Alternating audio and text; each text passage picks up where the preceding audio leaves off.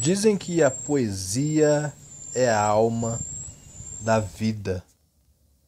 Esta vida cheia de procuras, de sentidos, de sentimentos. Esta vida cheia de experimentos, temperos, sabores texturas. Uma vida sem poesia não é vida.